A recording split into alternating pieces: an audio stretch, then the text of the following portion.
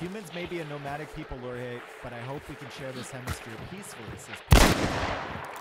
So Peter has discovered him down here. If someone wants to come, we will be friends. And you can see the level of anxiety here for him as he continues.